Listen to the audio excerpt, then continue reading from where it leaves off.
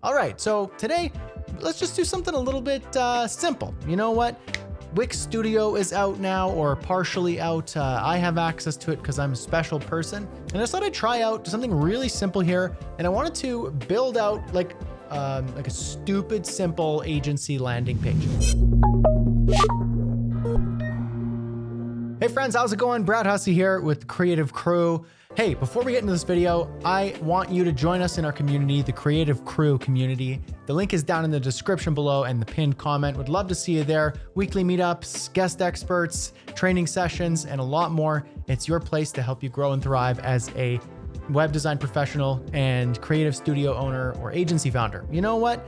Wix Studio is out now or partially out, but you know, if you're special like me and you have access, then you get to play around. For those, uh, the rest of us who don't have access to it, uh, I'm gonna give you a little sneak peek about what's going on uh, under the hood and behind the scenes. I'm a real fan of ultra minimalist landing pages. You know, I, I, get the big, beautiful, animated, amazing, incredible designs that are out there. I love that. And I think that they have their time and place. But sometimes a good website is literally just a little bit of text. It's got a lot, a lot of intrigue and allure and also it takes just a few minutes to make. That's the real benefit here. So let's just flip on over to Wix Studio here. Blank canvas looks very similar to Editor X and what we're used to seeing, but there are some obvious user interface changes. We'll get into all the little nitpicky details in upcoming videos. So I'm gonna create like a ultra simple landing page for an agency who just like has a little bit of an attitude, like, eh, whatever, I don't care. You know, you want to work with me? Well, you got to work to work with me. You know what I mean? Come on, Raphael, can't you work with me a little bit? I don't know. let's just let's just make something. So we're gonna start out here in the left side here. We're gonna change up some site colors.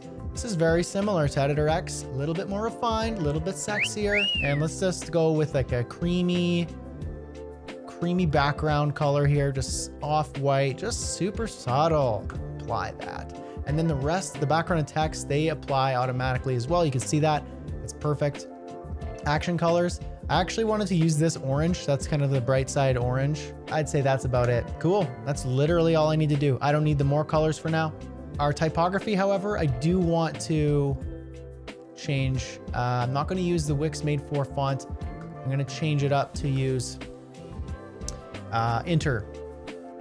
All right, and you'll see that in our like typography pop-up window here, we've got scale text turned on by default, which is really cool. Wix Studio makes it really easy to make responsive sites without having to do anything. And if you want to do anything, you can. You can you can customize anything and everything. There's a lot more customization availability here in Wix Studio, right down to the CSS and the code, which I'm super excited about. But if you just want to be like, I want this responsive, I want it super simple, I don't want to think about that. You know, I want AI to help me make it responsive. It's all there. This is really, really impressive. Uh, I'm just going to throw a logo in here. And I need that to display to keep my image ratio. It's a square. We're to make that smaller. All right. And we just need like a blurb of text and a button.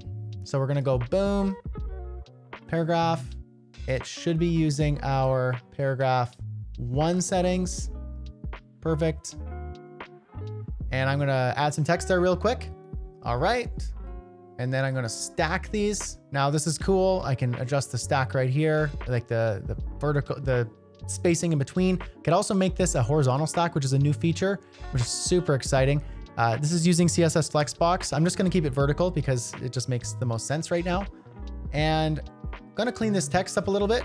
And you know what? I don't even want it centered. Like I want this stuff like on the left-hand side of the screen, align the items to the left, and I'm gonna make this container have some uh, padding all around it. So we're gonna need to clean that up. I could do the advanced CSS grid, or I could just, you know, do it right here. This is really easy. Boom, simple. Let's make sure it's got 10% on the right as well, just in case. Look at that. This is like the most basic website. I love it. Now we're just gonna add a button and I'm gonna attach it to this stack. Gonna make sure its spacing is just right. And this text, you know what? I want it to be a little bit heavier, just slightly heavier. So let's just adjust that text really quickly. Perfect. And I want the color to be more light. Harder to read, you know, just make it harder. Now, this button, I'm going to take this button and I'm going to change up the color. Let's see, I can use a primary call to action, but it looks a little bit like the logo. That's okay. All good. And then let's change up when we hover over this, the color is gonna go to our gray. And let's throw a little micro interaction in there. When you hover over this, it's not only gonna change color, but we're gonna do like a little animation. So maybe we should do something like, something not too cheesy. Maybe a slight grow. I'm gonna edit that a little bit. I'm actually going to change this up. The button itself is going to be dark. And then when you hover, it's going to go to the orange. And then the interaction, we're going to do something like grow, but I'm going to customize this animation. The duration is going to be longer. Super subtle. Yeah, cool. And I'm going to make the whole height of this canvas like fit to the screen. So it's just fully fitting to the screen. So we're going to change the height gonna be fit to screen. Now I'll check that out. Brilliant. Okay, so now what I'm actually gonna do is, oh yeah, is I'm gonna give it a slight, because it's so basic, there's not much to it. I mean, I can add some embellishments to it if I want. Like if I wanted to add a shape, let's put a shape over here and up in the corner. Maybe we'll change up the shape to be something a little more abstract. And then we're going to change these settings. Uh, no, we'll change up the color. Color is going to be slightly darker. And then maybe we can do like a little animation interaction, perhaps like entrance. It'll do like a float maybe. I like turn. Okay. And then I think I'm also going to do something like this whole stack. I'm to make the whole stack have a have a load in entrance interaction like animation. Let's blur it in. Oh yeah. Super cool. Now let's give it a little preview. Okay, what I'm to do here is I'm to make this little eyebrow thing come in uh, at a delay because this takes a little while to load in. I know I can make it load faster, but I don't want to. So I'm going to take this and I'm going to turn it. I'm going to adjust that animation and I'm going to delay it by like two seconds. And then we should be good. Sweet. So there it is. Real, real basic marketing site for an agency. Now, is it responsive? There's not much to it, so it should be very easy to make responsive. So I see it scales down in size. And then, you know, down to mobile, obviously, I don't want it to look like that. I want it to fill out. But what I'm going to do is I'm going to test out the AI responsive feature. So I'm actually going to click responsive AI and generate now and see what it does for the different screen sizes and see if we need to like make any changes. And see how much time this may or may not save us at this stage. Now it is in beta at the time that I'm using it.